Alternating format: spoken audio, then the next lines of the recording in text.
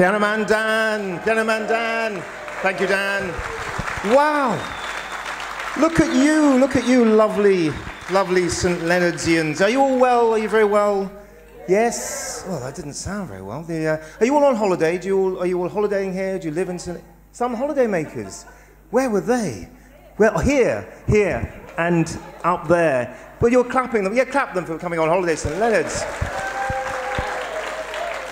That's what we do, and so we welcome you, holidaymakers. Thank you for coming.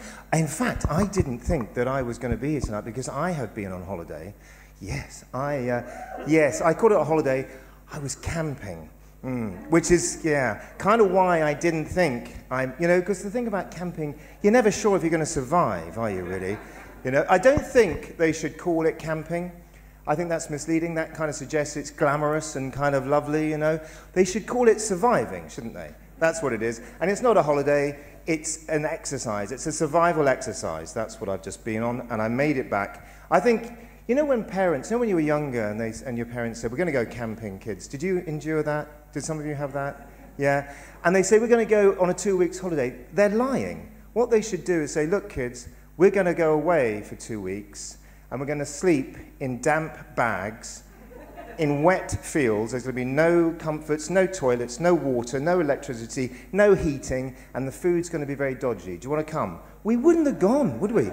we anyway, I did go camping, and uh, that? yes, please. Are you a camper? You no, you see exactly, exactly. Well, the thing about camping is well, lots of things about camping, really, but it's it's kind of. I, I think the crazy thing about it is it, it's like looking up accommodation on TripAdvisor, we, reading the worst possible reviews and going, that's for me. I'm going to do that. You know, when they would say beds, terrible. It was like sleeping in a bath with the taps running, good. Uh, the bedroom walls flap in the wind. If it rains, it's like sleeping in a bucket. Uh, you've got to collect your own water. Um, and to go to the loo, you need to walk five minutes in the pitch black across a field that contains loads of other miserable campers, all wailing, and there may be one or two serial killers. But, you know, fill your boots.